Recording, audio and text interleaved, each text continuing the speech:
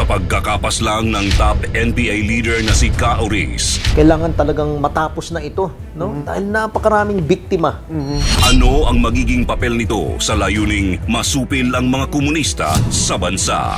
This will be the start of the end of the New People's Army. Samahan ang veteranong broadcaster na si Cesar Soriano sa pagsiyasat kung paano napatumba ng militar ang haligi ng New People's Army sa Hilagang Mindanao at ang mga hakbang na ginagawa ng sandatahang lakas sa paggamit ng simula ng wakas. Issue One-on-One.